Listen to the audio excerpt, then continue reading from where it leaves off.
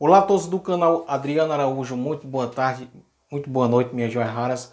Minhas joias raras, não se esqueça aí de se inscrever no canal, deixar seu like, apertar o sininho das notificações, também seus comentários abaixo que é muito importante, tá certo? Também aí não se esqueça também de compartilhar nas suas redes sociais, tá bom, minhas joias raras? Tanto no Instagram, WhatsApp, Facebook e também aí nos grupos de WhatsApp e também fale com seus vizinhos que tem um canal muito bom que é o canal Adriana Araújo, tá certo? Bom, minhas joias raras, e aqui a gente vai falar sobre o caso Cupertino, né? Eu falei para vocês que sempre vou estar tá falando do caso Cupertino.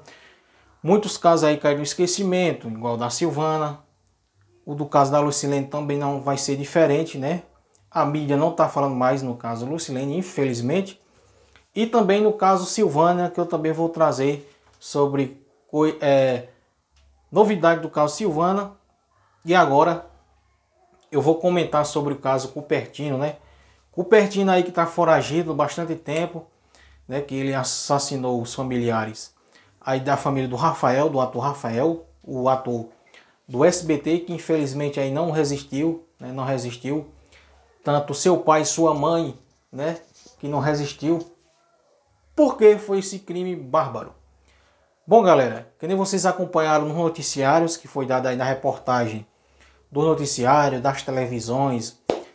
Eu também trouxe aqui também o caso Cupertino, em que ele assassinou aí o ator Rafael porque o ator Rafael se apaixonou, se apaixonou pela filha dele, né? Se apaixonou pela filha dele, inclusive eles moravam aqui perto do São Bernardo, ali do lado da CUPC, ali perto de São Bernardo, ali entre São Bernardo e Joaniza, Diadema, pertinho, né? Já é divisa, pertinho aí de Diadema, divisa com Diadema aqui na Grande São Paulo, né? E ele tinha essa oficina, né? O Cupertino tinha essa oficina e que aí ele estava em casa, né? No momento o Cupertino estava em casa e o filho, o filho, né? O, o, a sua filha e o ator Rafael se apaixonaram, né? Eles viviam esse romance proibido, namoravam escondido, né? Inclusive ele falou que teve relações sexo completa com ela só uma vez só, porque ele não queria correr o risco, né? O ator Rafael não queria correr o risco de o pai, de o pai dela pegar ela, ela no fraga com ele. E não aconteceu, não, e não aconteceu o pior. E o pior aconteceu porque ele não aceitava o relacionamento com o ator Rafael, porque o ator Rafael é um rapaz direito, um rapaz bom, Talvez se fosse um criminoso aí, de mau índole, fosse um cara criminoso de mau índole, o Cupertino aí queria, talvez queria que a filha se apaixonasse, queria que a filha se ajuntasse aí pelo um criminoso. E como o Rafael era um menino bom, né, os familiares do Rafael são pessoas boas, tanto o pai e a mãe que foi mortos por esse cretino, esse assassino Cupertino, né, que está foragido, que está foragido da polícia, da justiça, né, que infelizmente está mudando de face, cortando cabelo, deixando barba crescer, raspando barba e fazendo de tudo aí para despistar aí a polícia, a polícia e desafiando aí as autoridades, né? Ele tem aí parceria com o crime, né, com o crime organizado, tem apoio aí do crime organizado, que nem o irmão dele falou na reportagem do Cidade Alerta, né, aquele doido, que é irmão do Cupertino, e que ele falou que ele tinha aí associação aí com crime organizado, Cupertino. Não sou eu que estou falando, foi o irmão dele que falou na reportagem, aquele doido lá, irmão do Cupertino. Inclusive, o Cupertino ele tinha uma oficina ali na Cuperc, né? Ali quando você passa aqui no... Vai para o lado da Joaniza, sentido São Bernardo, você vê a oficina aí do Cupertino que está desativada, né? Que está desativada, está fechada. E por esse motivo aí, o ator Rafael foi conversar com o pai, foi conversar com o pai da, da sua namorada, o Cupertino. Tanto ele como sua mãe e ele e o pai foram lá na casa dele pedir a sua filha em namoro, né? Então, por esse motivo aí, eles foram assassinados, tanto o pai, tanto o pai do, do ator Rafael e tanto a mãe do ator Rafael, porque foi pedir a filha em casamento sem uma barbárie, o que aconteceu aí com o ator Rafael, infelizmente chegou a acontecer esse absurdo aí com o ator, né? Um ator que não merecia isso, porque se a pessoa se a moda pega, se todo mundo fosse pedir namoro a sua filha ou seu filho, o pai ou a mãe matasse, tava perdido. Tava todo mundo perdido. E ele fez isso, né?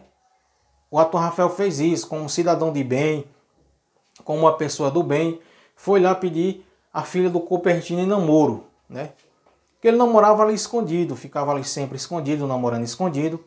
Mas aí o Cupertino, quando ele sabia, ele não gostava. Inclusive, ele maltratava a, a filha, né? chegava a bater nela e que ele aí não aceitava o relacionamento aí com o ator Rafael. Né? E por esse motivo aí ele fez essa barbárie aí com o ator Rafael. Ele foi encontrado em Goiás, mas ele foi esperto. Ele foi esperto que a galera já tá desconfiando que a polícia estava atrás dele e sabia que era o Paulo Cupertino. Depois ele foi para Mato Grosso, ficou um tempo lá. A polícia no rastro dele, né? a polícia aí no rastro de Cupertino. Infelizmente esse bicho tem uma artimanha, tem uma inteligência, tem inteligência 100%, um cara malaca. Malaca, ligeiro e esperto. Porque quando ele viu que a polícia estava ali no pé dele, que estava perto de pegar ele, ele ele ó, ele perna para quem te quero. Perna para quem te quer e nada de pegar aí o Cupertino, né? Mas a, a polícia já tem, já tem local onde ele esteja, pode estar no Paraguai, né? Do lado do Paraguai, Argentina. Né? Aí quando ele vê que a coisa está esfriando, ele corre para o Brasil e fica aí no interior, fica nas fazendas trabalhando na roça, raspa o cabelo, ou deixa a barba crescer, ou ele, que na abadia, inventa alguma coisa, tipo uma plástica, alguma coisa. Mas se Deus quiser aí, Deus vai abençoar que esse, esse assassino cruel vai ser preso, vai voltar, vai, vai ficar no chilindró e aí vai ficar um bom tempo. Tomara que fique na cadeia e, apro, e apodreça na cadeia esse cretino aí, Paulo Cupertino, que ainda está foragido e que aí a mídia não fala mais nada, né? Ninguém não fala mais nada. Ninguém fala mais nada. Mas eu tô sempre aqui para falar dos casos aí que ficaram no esquecimento. Depois eu vou trazer vídeos aqui falando sobre o caso Silvana, né? Silvana, aquela mulher lá de Valinhos, que sumiu depois que entrou na casa aí da cigana e desapareceu, tá certo? Minhas joias raras, o que, é que vocês acham aí do Cupertino foragido? Comente abaixo. Também aí não se esqueça aí de se inscrever no canal, deixar seu like apertar o sininho das notificações também seus comentários abaixo. Fique todos com Deus e até o próximo vídeo, se Deus quiser. Tchau, tchau.